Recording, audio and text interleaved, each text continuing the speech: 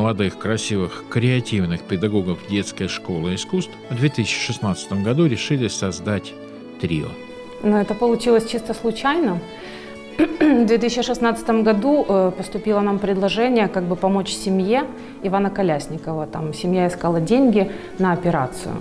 Ну и, естественно, что я могу сделать лучше всего, это играть.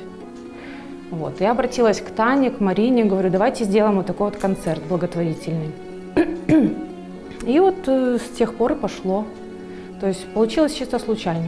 А название, нота Бена, в переводе с латыни, обрати внимание, откуда?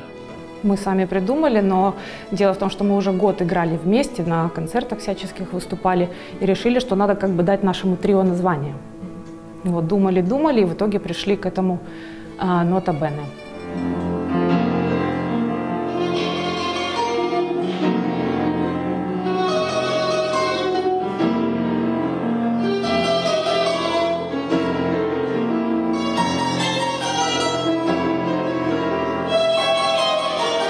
Вы все трое выпускницы Славутической детской школы искусств. Потом вы учились, прошло время, и теперь все здесь работаете.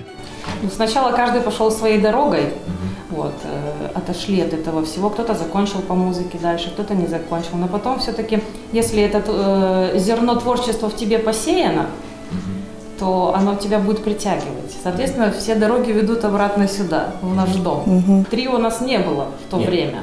Каждый сам по себе. Я никогда не думала, да, что буду преподавать. Я, наверное, лет 10 вообще не, ну, не сталкивалась с музыкой. Притом все равно ну, это оказался мой путь. Все дороги да, привели сюда, и я уже 8 лет здесь работаю. Я преподаю именно... В общем, такой работы, ну, ее чем-то сложно заменить чем-то другим.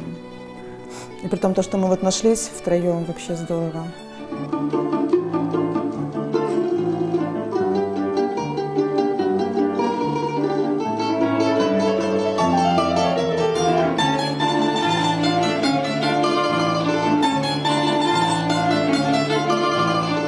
Вашего трио достаточно необычный, я бы сказал, уникальный. Классические инструменты – скрипка, фортепиано и народный домра. Это славутическое ноу-хау?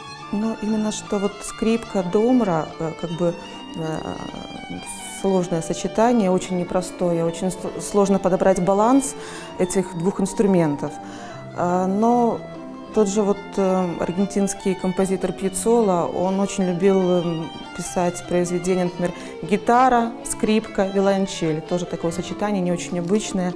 Там контрабас или там скрипка, аккордеон. И ну, просто эти сочетания, они как бы, это не ноу-хау абсолютно. Да. Скрипка не всегда сольный инструмент. Это камерные ансамбли, симфонические оркестры. Я работала в свое время в симфоническом оркестре и в камерном оркестре в городе Чернигове. То есть для меня это не проблема послушать другой инструмент, подстроиться. Это запросто. Мы этому учим детей здесь, в школе.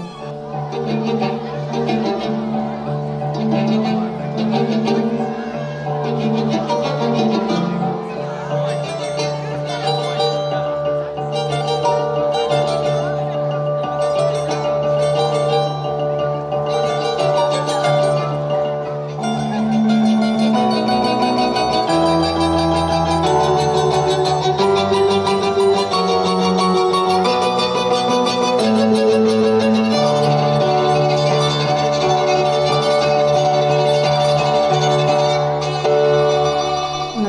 у нас очень многогранный, и мы пробовали всякое. И джаз у нас, и классика, и поп-музыка. И вот э, в течение всяких репетиций пытаемся найти что-то интересненькое, в том числе вот эту елочку, и криминальная фантазия у нас была. Но мы изначально стараемся искать уже для трио. Да. Но есть, да, есть произведения, которые нам приходится немножечко там додумывать, как бы ну, раскладывать э, партии. Ну, обычно фортепианная партия есть, и может быть сольная там для скрипочки или для домры. Ну, иногда приходится додумывать как бы вторую партию. Сейчас, например, мы работаем над э, временами года аргентинского композитора Пьецола. То есть это целый цикл. Достаточно необычная музыка, может быть, не всем она зайдет, но так совпало, что мы все втроем от нее просто в восторге кто-то услышал, там просто прибегают, «А, какое произведение нашла, там где-то интернет, Facebook, окей, Google. Это у нас и как-то вот кто нашел, смотрите, послушайте, нравится, играем. Вот так вот.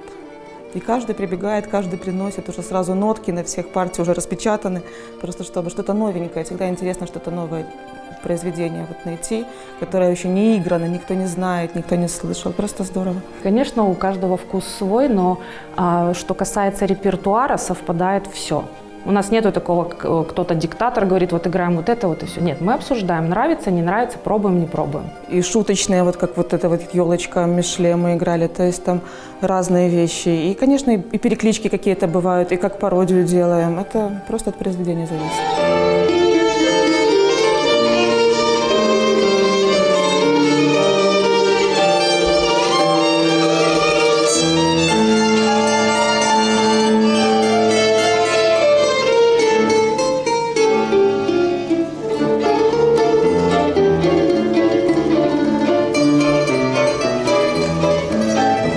Сколько уходит времени на репетицию одного произведения? Ну, это зависит от сложности произведения прежде всего, от количества репетиций, которые мы можем провести, потому что у каждого из нас тоже есть помимо э, трио свои какие-то занятия, и работа, и жизнь семейная, поэтому все зависит только от этого. Ну, даже вот э, мы играли произведение э, Палладио, если не ошибаюсь.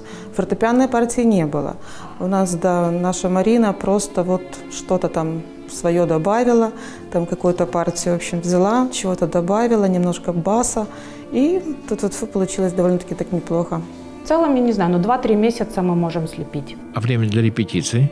Когда выбираете? Ну, находим свободное время чаще всего до работы.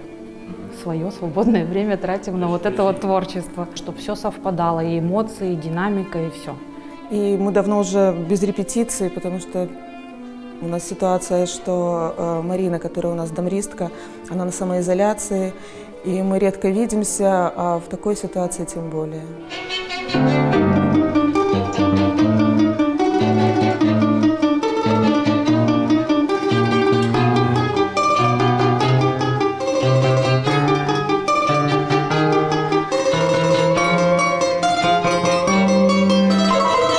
А у вас есть любимое произведение? Ой, это очень сложный вопрос. Мы что-то начинаем играть, и не знаю, я влюбляюсь в это произведение моментально. Что-то переходим на другое произведение, другие, на другую программу, и там что-то просто потрясающее. Что-то сравнить с чем-то просто невозможно. Они, каждое произведение самодостаточно по-своему, и что-то такого любимого – я даже так сказать не могу. То есть каждое новое произведение вы влюбляетесь как Конечно, конечно. И как бы открываем сперва его для себя.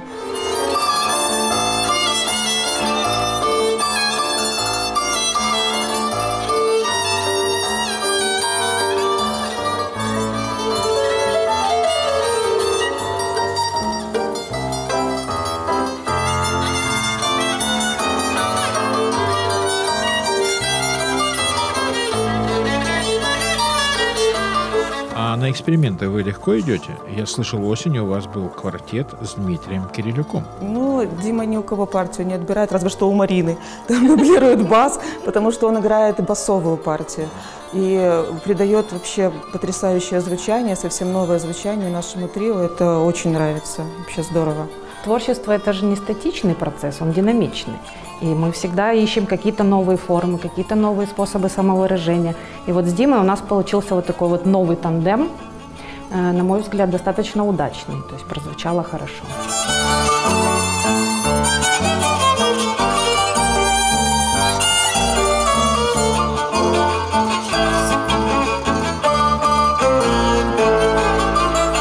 Нас есть в планах с Димой сделать произведение и добавить еще каких-нибудь ударников.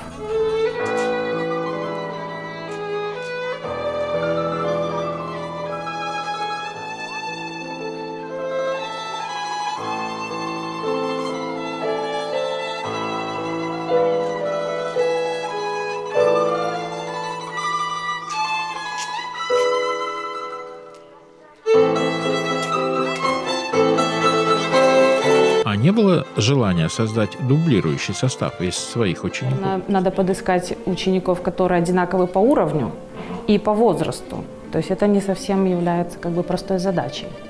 Но вообще такой идеи как бы даже и не было.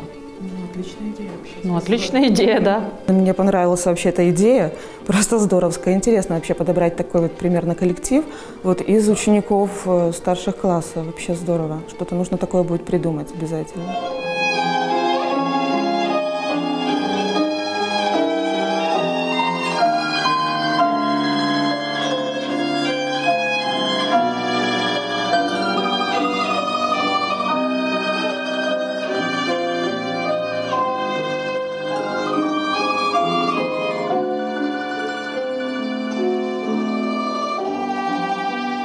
А где вы черпаете свое вдохновение и каковы планы на будущее? В самом творчестве, то есть для творческого человека вот этот вот перерыв, связанный с карантином, он был очень жесткий такой и тяжелый. То есть, ну, нам необходимо, как творческим людям, и сцена, и выступления, и зрители, и все остальное.